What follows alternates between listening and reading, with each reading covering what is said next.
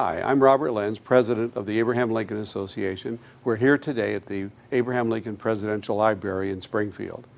Here in Illinois, the nation's 16th president developed from a young man to the leader who would hold together uh, the entire nation during the Civil War. Lincoln's life is well documented. In fact, over 16,000 books have been written about him, and with more books and even movies now in the works. And yet, he died at only age 56, just having four years as president. So we might ask the question, why Lincoln? Why does this man's life resonate with so many people across the world and across the country years after he died in 1865?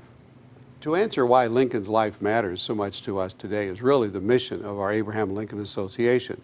Our association itself is over 100 years old, and since our founding, the mission of the association has been to promote authentic scholarship about Lincoln and his times. That's also why the Abraham Lincoln Association supports the work of the Illinois Channel.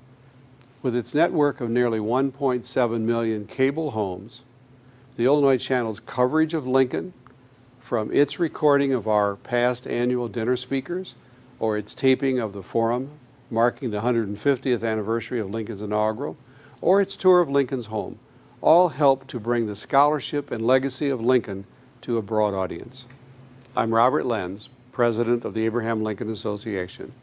I'm also proud to serve on the Illinois Channel's Advisory Council. The Illinois Channel, it works for all of us.